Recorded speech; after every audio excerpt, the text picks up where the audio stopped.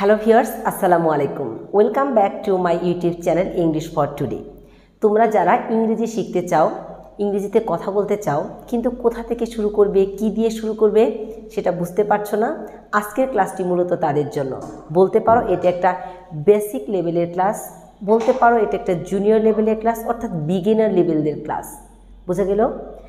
অর্থাৎ ইংরেজি শেখার প্রথম ধাপ। ইংরেজিতে কথা বলতে চাও দ্যাট মিন্স ইংরেজি শিখতে চাও, তাহলে যে জিনিসগুলো তোমাকে প্রথমেই লাগবে এবং মাস্ট এগুলো ছাড়া আর এটাকে ওভারটেক করে যাওয়া যাবে না। এটা প্রথম ধাপ, এটাকে পাড়ি দিয়ে তোমাকে নতুন কোনো অধ্যায়ে যেতে হবে। সেই অধ্যায়টা নিয়ে, অর্থাৎ প্রথম স্টেপ নিয়ে আলোচনা করছি। সবাই খাতা কলম নিয়ে রেডি হয়ে যাও। যা আজকে দিব সেগুলো একটু নোট করে রাখবে এবং প্র্যাকটিস করবে। আমি যখন ক্লাস শুরু করব, যেভাবে বলব ঠিক আমার সঙ্গে ওভাবে বলার চেষ্টা করবে। ইনশাল্লাহ আমরা আমাদের লক্ষ্যে পৌঁছাতে পারব। অর্থাৎ আমরা যারা ইংরেজিতে ফ্লুয়েন্ট হতে চাই, জড়তা ছাড়া ইংরেজি বলতে চাই, তাদের জন্য আজকের এই ক্লাস কিন্তু পুরো ভিডিওটা দেখতে হবে, অর্থাৎ পুরো ক্লাসটা দেখতে হবে। কোনো প্রকার স্কিপ করা যাবে না। কারণ ফার্স্ট টু লাস্ট যে টপিকটা নিয়ে, যে জিনিসটা নিয়ে আলোচনা, একটার সাথে আরেকটা রিলেটেড দ্যাটস ওয়াই একটু মনোযোগী হতে হবে ওকে নাও তাহলে শুরু করা যাক আজকের ক্লাস ফার্স্ট যে জিনিসটা আমাদের লাগবে, সেটা হচ্ছে আমরা পার্সন দিয়ে শুরু করব। যেমন আমি, তুমি, সে, আমরা, তারা, এরকম। কারণ এ ধরনের কথা সারাক্ষণ বলে থাকি, তুমি আসো, আমি যাই, আমি খাচ্ছি, সে আসছে, সে যায়। এরকম কথা সারাক্ষণ, সারাদিনের সব কর্মব্যবস্থায় এইভাবেই কথা বলতে হয় আমাদের। তো এই পার্সনটা দিয়ে আমরা শুরু করব। এগুলো কিন্তু আমরা কম বেশি সবাই জানি। যারা আমরা অধ্যয়নরত আছি, পড়াশোনা শেষ করে ফেলছি বা একদম শুরু, ক্লাস টু থেকে শুরু করে, ক্লাস ওয়ান থেকে শুরু করে আমরা সবাই এগুলো জানি। কিন্তু প্রবলেমটা হচ্ছে কি, আমাদের বলা হয়ে ওঠে না। যে কারণে মুখে ফ্লুয়েন্সি আসে না। আবার এরকমও হয় যে জু তিনটে যা আমরা জানি, কিছু জানি, ওটুক দিয়ে চালিয়ে দিয়ে নতুন কোনো সেন্টেন্স আর তৈরি করি না বা চেষ্টাও করি না। লোকে কি বলবে, ভুল হবে না, শুদ্ধ হবে, এই যে একটা হ্যাজিটেশন কাজ করে, এই হ্যাজিটেশনের জন্যই কিন্তু আমাদের আর বলা হয়ে ওঠে না, পেটের কথা, মুখের কথা আমাদের রয়ে যায়, আর ইংরেজিতে বলা হয়ে ওঠে না। আর আরেকটি বিষয় হচ্ছে যে ইংরেজি শেখার আমাদের যে কাজটা করতে হবে, যা জানি সেটা গ্রামাটিক্যালি মিস্টেক হতে পারে বা যা মানে বিভিন্নভাবে মিস্টেক হতে পারে, কিন্তু আমাদের বলাটা চালিয়ে যেতে হবে, কারণ আমরা ভুলের মাধ্যমেই শিখব।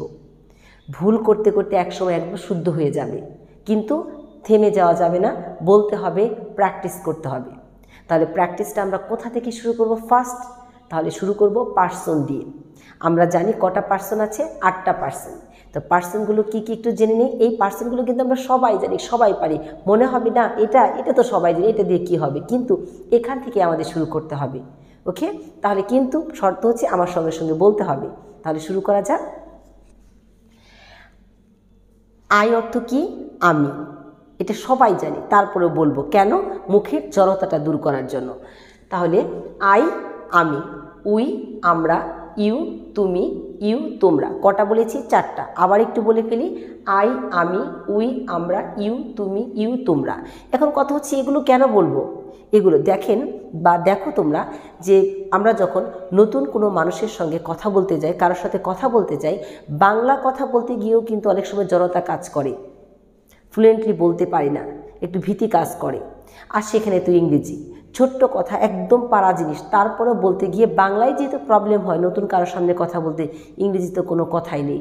দ্যাটস ওয়াই এই ছোট ছোট জিনিসগুলো আমাদের মুখে বারবার বললে মুখের জড়তাটা কেটে যাবে। এজন্যই আমরা এখান থেকেই শুরু করেছি। ওকে নাও তাহলে আমার সঙ্গে আবার বলো। আই আমি উই আমরা। ইউ তুমি ইউ তোমরা।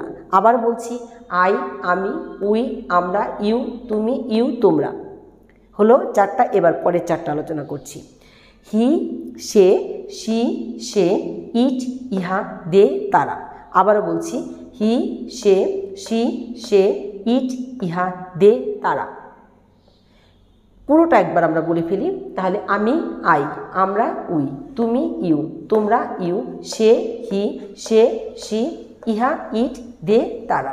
এখন কথা হচ্ছে, হি, ছেলেদের নাম সি মেয়েদের নাম। ইট ইহা। এখানে আমরা কোনো নাউন হতে পারে, এখানে নাউন হতে পারে, এখানেও নাউন হতে পারে। আর নাউনগুলোর প্রনাউন হচ্ছে এগুলো নাউনের পরিবর্তে আবার এগুলো বসে। যেমন, এখানে দিলাম হচ্ছে রহিম, রহিমের পরিবর্তে হি। এখানে দিলাম হচ্ছে সুমি, সুমির পরিবর্তে সি এখানে দিলাম পেন, পেনের পরিবর্তে হচ্ছে কি? ইট সেখানে নাউন হতে পারে, আবার কি হতে পারে? প্রনাউন হতে হতে পারে। তাহলে পার্সন কটা? পার্সন হচ্ছে আটটা। এভাবে আমরা বাসায় দু থেকে তিনবার, অর্থাৎ ফাইভ টাইমস দু, দুবার, তিনবার অথবা পাঁচবার আমরা এটাকে প্র্যাকটিস করব। মুখে মুখে বারবার বলব, সহজ ইজি তারপরেও আমরা এটাকে বারবার বলব। কেন বলব? মুখের জড়তাটা কাটানোর জন্য। ওকে নাও এবার আসি আমরা এই যে আমরা পার্সনগুলো পড়লাম, এই পার্সনগুলোর সাথে যে কোনো একটা ভার্ব নিব। অনেক ভার্ব আছে, যে কোনো একটা ভার্ব নিব। এখন ভার্ব কি? এখন জানতে হবে ভার্ব কি। যেগুলো দিয়ে কোনো কাজ করা বোঝায়। কি বোঝায়? কাজ করা। বল প্রয়োগ করে যে কাজ। ভার্ব মূলত আরও ভার্ব আছে হেল্পিং ভার্ব কিন্তু আমরা সেটার পথে যাচ্ছি না। ওটা আমরা পরে নেক্সট অন্য কোনো ভিডিওতে আলোচনা করব। আজ শুধু মেইন ভার্ব মূল ভার্ব অ্যাকশন ভার্ব নিয়ে আলোচনা করব।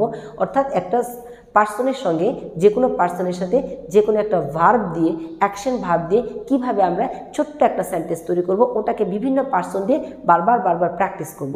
তাহলে করে কী হবে মুখের জড়তা কেটে যায় আমরা কিন্তু কিছু ওয়ার্ড মিনিং পার্সন বিভিন্ন কিছু টুকিটাকে আমরা সবাই জানি, কিন্তু আমাদের মেইন প্রবলেম বলা হচ্ছে না মুখের জড়তা এবং কি শুদ্ধ হলো না ভুল হলো, এই যে একটা হ্যাজিটেশন এটা এটা দূর করাই হচ্ছে আমাদের মেইন লক্ষ্য।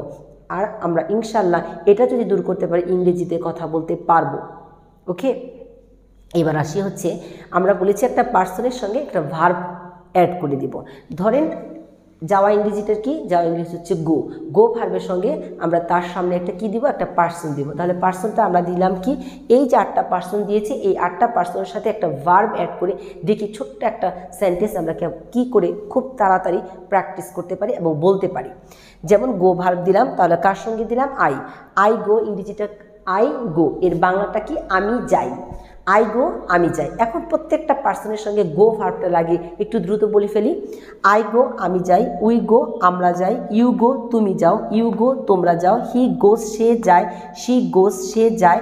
ইট গোস ইহা যায়। দে গো তারা যায়। আবারও বলছি, মুখের ফ্লুয়েন্সি আনার জন্য। আমরা একবার গো ভার্ব দিয়েছি। এবার একটা ইট খাওয়া, এই ভার্বটা দিয়ে একটু প্র্যাকটিস করে ফেলি।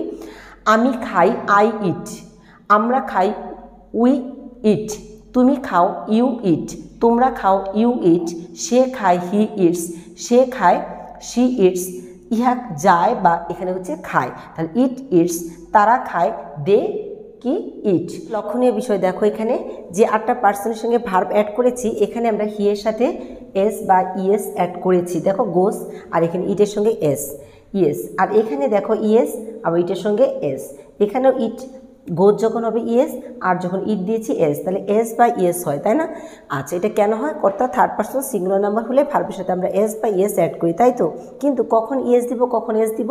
আচ্ছা যখন আমরা কোনো ভার্বের লাস্ট ওয়ার্ডটা ও পাবো ডাবল ও পাবো এস এসের উচ্চারণ যখন চয়ের মতো হবে, অথবা এরকম যখন বা এক্স পাবো, তখন আমরা ই এস দিব, আর বাকি সব ক্ষেত্রে আমরা এস অ্যাড করব। ঠিক আছে? শুধুমাত্র সিম্পল প্রেজেন্ট ইনডিফিনিট টেন্সে কী বলেছি আবার শোনো? শুধুমাত্র সিম্পল প্রেজেন্ট ইনডিফিনিট টেন্সে আমরা এটা করে থাকি। শুধুমাত্র প্রেজেন্ট কোন? Simple present indefinite tense simple present indefinite টেন্সে আমরা কি করি? পার্সনের পর, অর্থাৎ থার্ড পার্সন সিঙ্গুলার নাম্বারের পর, অর্থাৎ হি শি ইট হিটা কোনো কি ছেলেদের নাম শি হচ্ছে মেয়েদের নাম, ইট হচ্ছে কি কোনো জিনিস, বস্তু, এগুলোর নাম। আর এখানে নাউন থাকুক আর প্রনাউন থাকুক। ভার্বের পরে এস বাই এস অ্যাড করতে হয় শুধুমাত্র সিম্পল প্রেজেন্ট ইনডিফিনিট টেন্সে মনে থাকবে? ওকে এবার চলে আসো। তাহলে দে গো তাহলে এটাকে এক নজর আবার আমরা বলে ফেলি। এভাবে বলি, যেমন একটু আগে আমরা গো দিয়ে বলেছি ইট দিয়ে বলেছি। এবার যদি আমরা এখানে অন্য একটা ভাব দিয়ে বলি, যেমন রাইট মানে লিখা তাহলে আমি লিখি আই রাইট আমরা লিখি উই রাইট তুমি লেখো ইউ রাইট তোমরা লেখো ইউ রাইট সে লেখে হি রাইটস সে লেখে শি রাইটস ইহা লেখে ইট রাইটস তারা লিখে দে রাইটস ওকে আর এখানে আমরা একটু চেঞ্জ করে বলি যে আমি আমি যারা এখানে যদি লিখে আমার বন্ধু লেখে my friends my friend write writes আর এখানে যদি আমরা বহুবচন করে দিই যে মাই ফ্রেন্ডস তখন কিন্তু রাইট আর শুধুমাত্র মাই ফ্রেন্ড তখন কি হলো? রাইটস কারণ মাই ফ্রেন্ড ইন্ডিকেট করল হিকে আর মাই ফ্রেন্ডস দিয়ে ইন্ডিকেট করল কাকে? দেখে বুঝে গেল? আচ্ছা এখানে দ্য গার্ল তাহলে দ্য গার্ল বা এ গার্ল তখন কিন্তু ভার্বের সাথে এস বা ইয়েস অ্যাড করলাম। যখন দিলাম গার্লস কি দিলাম? দ্য গার্লস যখন দিলাম, তখন কিন্তু সেটার পার্সন কোন পার্সনের মতো কাজ করল? এই যে দে অর্থাৎ থার্ড পার্সন প্লুরাল হয়ে গেল। তাহলে এখানে ভার্বের সাথে এস বা ইয়েস হবে না। তাহলে এভাবে তোমরা কী করবে? পার্সন নিবে। যে কোনো একটি ভার্ব নেবে অ্যাকশন ভার্ব নেবে নিয়ে এটাকে ইংরেজি বাংলা ইংরেজি বাংলা আবার বাংলা ইংলিশ করে এভাবে দু তিনবার বাসায় প্র্যাকটিস করবে। এটা কেন? এটা তোমরা সবাই পারি আমরা। তারপরে এত ইজি একটা জিনিস কিন্তু শুধুমাত্র মুখের ফ্লুয়েন্সি আমাদের ফ্লুয়েন্সি বাড়ানোর জন্য, মুখের জড়তা কাটানোর জন্য এভাবে বারবার প্র্যাকটিস করলে কি হয়? মুখের জড়তাটা কেটে যাবে। বুঝে গেল? তাহলে আমরা পার্সন পড়লাম পার্সনের সাথে ভার্ব অ্যাড করে পড়লাম। এখানে হচ্ছে বাক্য তৈরি। আজকে যেহেতু এই স্পোকেনের একটা কী বলছি, এত প্রথম ধাপের একটা ক্লাস দিচ্ছি যে শুরুটা কোথা থেকে করবে? ঠিক তাহলে আমরা কি শিখলাম? পার্সন দিলাম পার্সনের সাথে একটা ভার্ব অ্যাড করে দিলাম। এখন এই ছোট্ট এই একটা সেন্টেন্স যে আমরা তৈরি করেছি, সেটাকে একটু ইলাবোরেট করে, একটু বড় করে একটা সেন্টেন্স তৈরি করব আর ওটাকে ওভাবে বাসায় প্র্যাকটিস করব। কীভাবে আমরা সেন্টেন্স তো আমরা কিন্তু এগুলো প্রত্যেকটা ওয়ার্ড মিনিং আমরা জানি। শুধু একের পর এক কীভাবে একটু অ্যাড করব, কীভাবে কোনটার পর কোনটা বসাবো? মানে যখন আমরা ইংরেজি বলতে যাই, তখন একটু ভেবে নিই কী আগে বলব, কোনটা আগে বলব?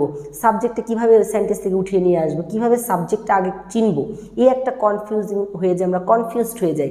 যাতে কনফিউজ না হয়ে যায়, সেজন্য একটু মনোযোগ দিয়ে তোমরা দেখো, ঠিক আছে? আমি ইংরেজি শিখতে এখানে আসি। আমরা সবসময় ভার্ব ভার্বকে লক্ষ্য করব। এই বাক্যে ভার্বকে আমি ইংরেজি শিখতে এখানে আসি। এখানে কিন্তু দুটো ভার্ব একটা হচ্ছে শিখতে আর একটা হচ্ছে আসি। এখানে লাস্ট ভার্ব কোনটা? লাস্ট ভার্ব হচ্ছে আসি। লাস্ট ভার্ব কোনটা? আসি। এই লাস্ট ভার্বকে ধরবো। লাস্ট যে ভার্বটা সেটাকে ধরবো। ধরে আমরা কি করব? ওটাকে যে ভার্বের কাজ কেউ না কেউ তো করে। অবশ্যই ভার্বের কাজ কেউ না কেউ করে। তাহলে কে করে? আমি করি। আমি করি বা আমি আসি। এখানে কাজটা হচ্ছে আমি আসি। কে আসে? আমি আসি। তাহলে আমি আমরা সাবজেক্ট পেয়ে গেছি। তাহলে আর সাবজেক্ট একটা বাক্যের সেন্টেন্সের শুরুতে তো সাবজেক্টই বসবে, তাই না? প্রেজেন্ট ইনডিফিনিটেন্স অর্থাৎ এই ধরনের সেন্টেন্সগুলোতে সবসময় সাবজেক্ট আগে বসবে। তো সাবজেক্ট যদি আগে বসে, তাহলে আমরা এখানে কি দিব? এখানে সাবজেক্ট আমি দিলাম হচ্ছে কি? আই বুঝে গেল? আই ওকে, কে আসে? আমি। আশাটা কি? আশা হচ্ছে খাম তাহলে আমরা এখানে দিব হচ্ছে আই খাম বুঝে গেল? তাহলে আমি আসি ইংলিশটা কি? আই কাম তাহলে এইটুক তো আমরা পারি। যখন দেখো এখানে লিখেছিলাম, আমি যাই আই গো তাহলে আমি আসি আই কাম এবার হচ্ছে, দেখো, এখানে আসি। এখানে ইংলিশ কি? এখানে মানে হচ্ছে কি? এখানে আমরা সবাই জানি হেয়ার আই কাম হিয়ার তারপরে বললাম কি? শিখতে। শেখাটা হচ্ছে লার্ন শেখাটা হচ্ছে কি? লার্ন আর এখন কথা হচ্ছে, এখানে আমি কেন ব্ল্যাঙ্ক রাখলাম? এই জন্য যে বাংলায় কোনো ভার্বের সাথে তে, কি? তে অথবা বয়শূন্য র যদি পাও, তাহলে ইংরেজি করার আগে ওই ভার্বের আগে একটা টু বসাতে হবে। তাহলে ওই শেখা ভার্বটা হচ্ছে লার্ন তাহলে তার আগে যদি একটা টু বসিয়ে দিই, তাহলে কি হলো? টু লার্ন তাহলে এতটুকু একটু শিখে নেই আমি আসি আই কাম এখানে হেয়ার আমি এখানে আসি আই কাম হেয়ার শিখতে টু লার্ন তাহলে আমি এখানে ইংরেজি শিখতে আসি। তাহলে I come here to learn কী শিখতে আসি? ইংরেজি। তার মানে ইংলিশ তাহলে আমরা এখানে কি দিব? ইংলিশ এখন এই সেন্টেন্সটাকে একটু এভাবে প্র্যাকটিস করা যাবে না। দেখো তো আমার সঙ্গে বলো, আমি আসি আই কাম এখানে হেয়ার তাহলে ফুল এতটুকু কী হলো? আই কাম হেয়ার আমি এখানে আসি, শিখতে টু লার্ন কী শিখতে? ইংলিশ তাহলে ইংলিশ তাহলে ফুল বাক্যটা হয়ে গেল I come here to learn English আবারও বলি I come here to learn English আমি এখানে ইংরেজি শিখতে আসি। I come here to learn English understand এবার নেক্সট সেন্টেন্স আসছি। মেয়েটি গান করতে পছন্দ করে। পছন্দ করে। এখানে শেষ ভাবটা কি? পছন্দ করা। পছন্দ করা। কে পছন্দ করে? মেয়েটি। তাহলে মেয়েটি হচ্ছে কি? তাহলে আমরা মেয়েটি দিব হচ্ছে the girl the girl okay পছন্দ করা ইংলিশ জন্য কি?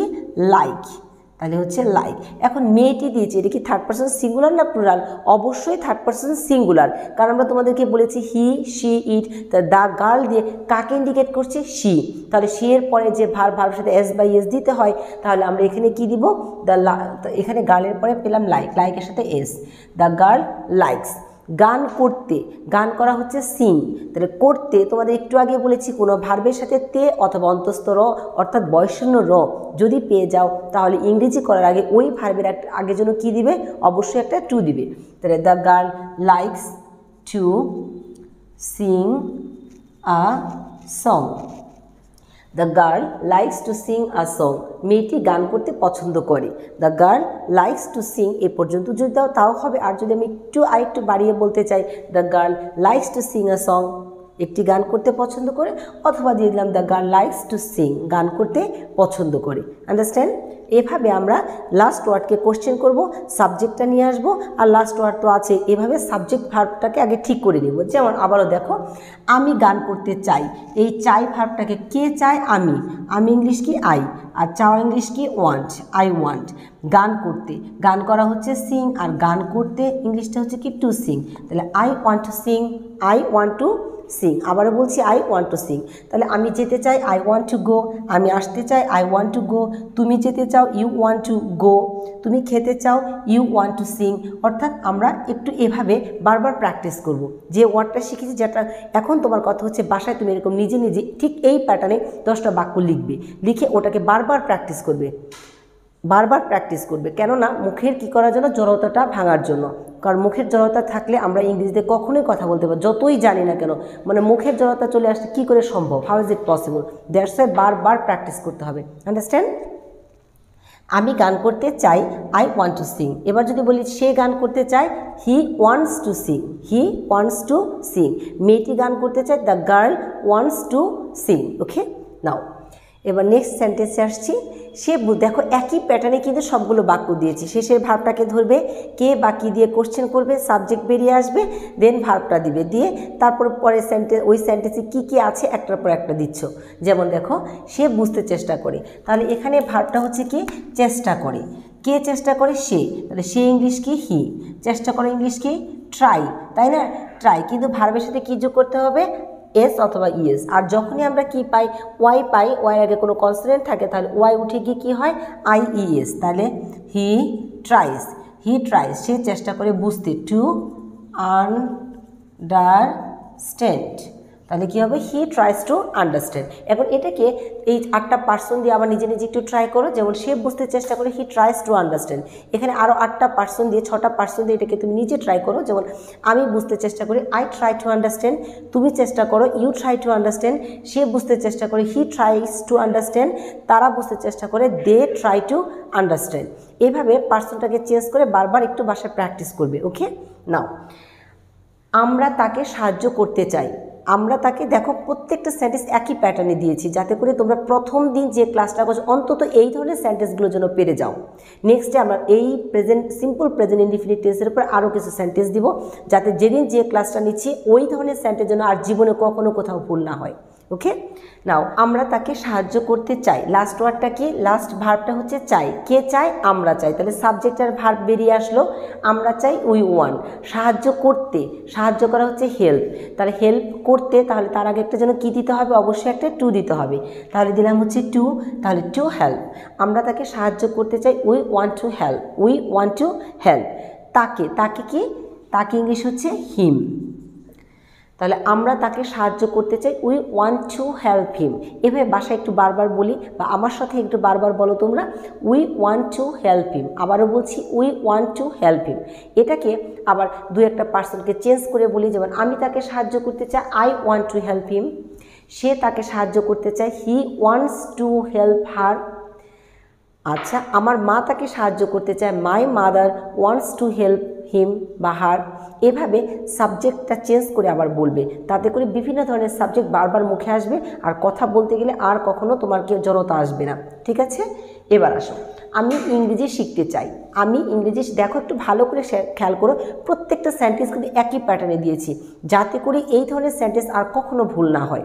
ওকে আমি ইংরেজি শিখতে চাই। তাহলে আমি চাই আই শিখতে চাই। চাইটা হচ্ছে কি ওয়ান্ট আই ওয়ান শিখতে হচ্ছে কি টু লার্ন কি ইংরেজি মানে ইংলিশ ওকে তাহলে I want to learn English আমি বাংলা শিখতে চাই। I want to learn Bengal অথবা বাংলা। আই আমি হিন্দি শিখতে চাই। I want to learn Hindi okay আমি ফার্সি শিখতে চাই। I want to learn Farsi. এভাবে আমরা সেন্টেন্সের সাবজেক্ট চেঞ্জ করে বলব। মাঝে মাঝে ভার্ব চেঞ্জ করে দিব। মাঝে মাঝে অন্য কোনো ওয়ার্ড চেঞ্জ করে দিয়ে বারবার এভাবে বাসায় প্র্যাকটিস করব। তো কথা দিচ্ছি, তোমরা এভাবে আজকের ক্লাসটা দেখে এভাবে এই কয়েক ধরনের সেন্টেন্স তুমি চেষ্টা করো, দেখবে এই সেন্টেন্সগুলো পেয়ে যাবে। নেক্সট আমরা সেকেন্ড ক্লাসে আমরা এই আদলে অন্য ধরনের আরও সেন্টেন্স দেওয়ার চেষ্টা করব, অর্থাৎ এই টেন্সের উপরে। এভাবে প্রত্যেকটা ক্লাস আমরা স্টেপ বাই নিব।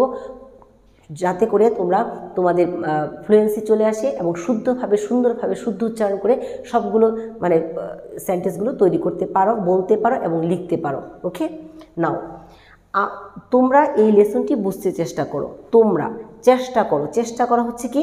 ট্রাই আচ্ছা কে? তোমরা, তাহলে তোমরা হচ্ছে কি? ইউ ইউ চেষ্টা করো হচ্ছে কি? ট্রাই ইউ ট্রাই বুঝতে to